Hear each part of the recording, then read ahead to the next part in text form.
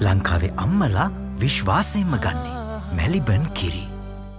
මවින් පුවත් පතේ සිරස්තලේ කියන්නේ ඇස් අන්ද වෙච්ච අයට බාල බෙහෙත් සමාගමෙන් අල්ලස්දීමේ තැතක්. සජම පාර්ලිමේතුමන්ත්‍රී දොස්තර කවිද ජයවර්ධන ප්‍රකාශ කරනවා.